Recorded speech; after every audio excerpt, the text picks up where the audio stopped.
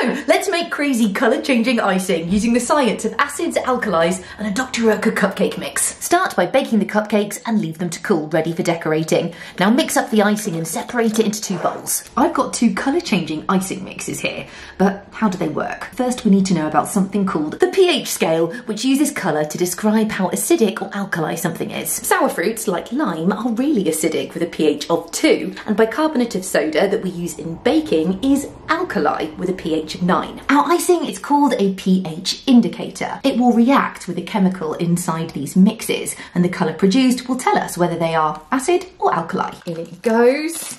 Can you see the colour changing?